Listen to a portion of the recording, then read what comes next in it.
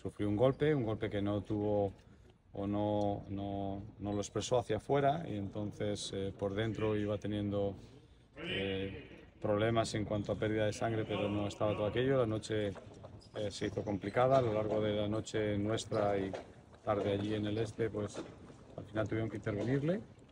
La intervención ha salido bien. en principio había un, un, mal pronóstico, pero todo ha ido muy bien y todo ha estado sobre lo previsto y, bueno, gracias a Dios el muchacho está bien y el muchacho está estable, no hay ninguna, eh, no sé que haya cualquier bajada o lo que sea, pero todo está en principio en bastante, bastante orden. Entonces, bueno, esperar a ver un poco su evolución, a ver un poco cómo está. Evidentemente no puede jugar ni un día más y una vez que esté más o menos en condiciones, estamos en contacto con la selección de Serbia y en cuanto pueda ellos lo trasladarán un poco a, a Belgrado.